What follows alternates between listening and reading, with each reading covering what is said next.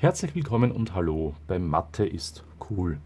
Unser heutiges Thema ist das Rechnen in der direkten Proportionalität mit Hilfe der Hosenträgermethode. Dazu folgendes Musterbeispiel. Ein Kilogramm Wassermelone kostet 2,90 Euro.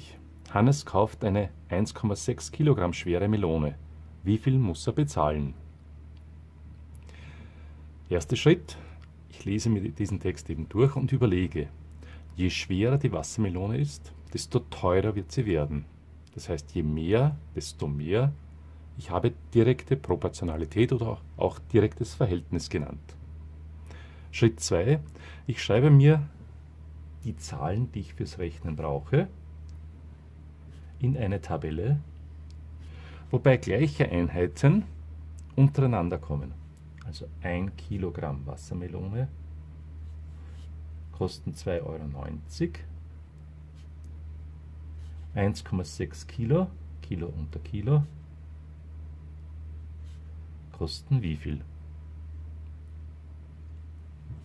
Statt des Wortes wie viel habe ich jetzt eine Variable x eingesetzt. Ich zeichne nun in diese Tabelle meinen Hosenträger ein und löse die Tabelle nach folgendem Grundsatz auf.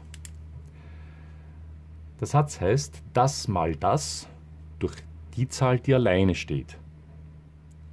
Welche Zahl steht alleine? 1.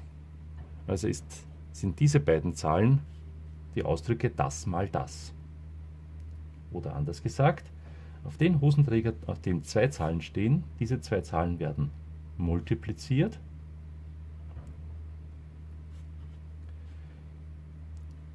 dividiert durch die Zahl, die alleine steht. Alleine steht der Einser auf dem Hosenträger. Das mal das dividiert durch die alleinstehende Zahl. 1,6 mal 2,9 dividiert durch 1. Dazu kann ich auch den Taschenrechner verwenden.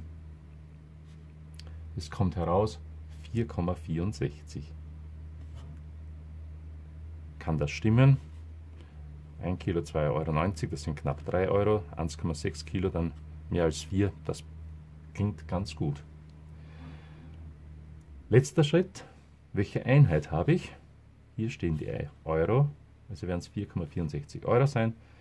Und ganz wichtig, bei einer Textfrage muss ich eine Textantwort schreiben und die Antwort ist immer ein ganzer Satz.